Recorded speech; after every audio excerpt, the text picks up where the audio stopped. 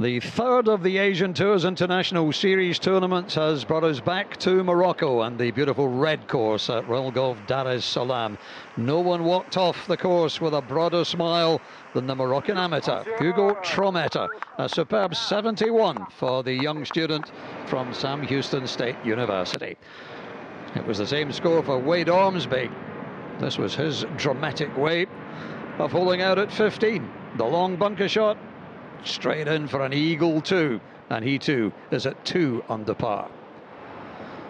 Pat Perez, the 48-year-old, a 70 for three under for Perez. This was a birdie at the second for the American. And Travis Smyth, who's had a fairly average season so far, it would have to be said, beginning to look like the Travis Smyth of old. This his second into the seventh, leading to birdie, and a 69. That's four under par on the red course.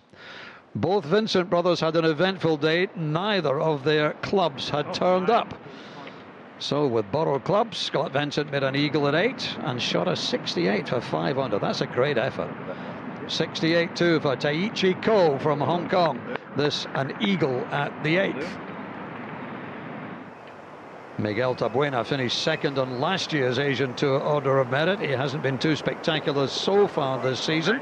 That may change. Birdie at the sixth and a 67 for the Filipino. But two men share the lead.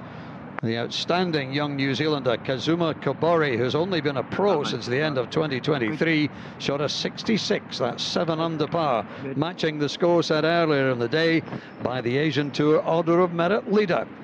John Catlin, what a year he is having. He's already won twice on the Asian Tour this year. He could be in line for a third. A 66 for seven under. Catlin and Kobori lead in Morocco.